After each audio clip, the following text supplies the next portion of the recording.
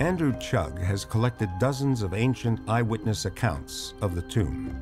There are plenty of texts which identify uh, the body of Alexander and his tomb as having been located in Alexandria. Many of these references occur during the first three centuries AD, and then almost all references end.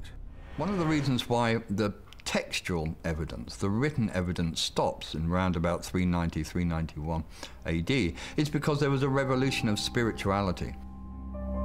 For thousands of years, the people of Egypt, Greece, and Rome had believed in many gods.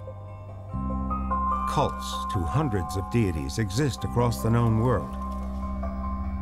But in the 4th century, the Roman Emperor Constantine embraces a relatively new cult, Christianity. 300 years after the death of Jesus, we find Constantine, who wants to become Roman emperor and he adopts the minority cult image of Christianity, the cross, as part of a protective amuletic device on the shields of his army and puts Christianity on the road as well to becoming the official state religion sponsored by the Supreme Emperor Constantine. Some scholars believe that the rise of Christianity can explain the loss of Alexander's tomb.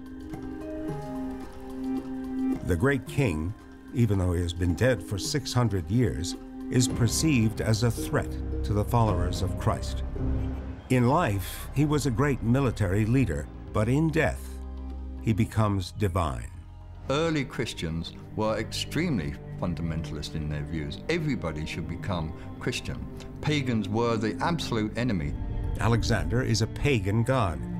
Christians are being instructed to close down temples dedicated to pagan gods.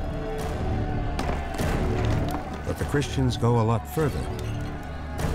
The real fundamentalist movers and shakers of Christianity in Alexandria at this time went round destroying all kinds of images uh, and temple carvings and hieroglyphics and any inscription which had to do with paganism. Archaeological evidence in Alexandria dramatically illustrates the extent Christian fundamentalists went to to stamp out paganism. You see that quite physically in Alexandria because it's in 392 that the local Christians attack one of the most important sanctuaries in the city, the Serapeum, and destroy it to the ground. As you see, there is no more structures, there is no more stones. Everything has disappeared.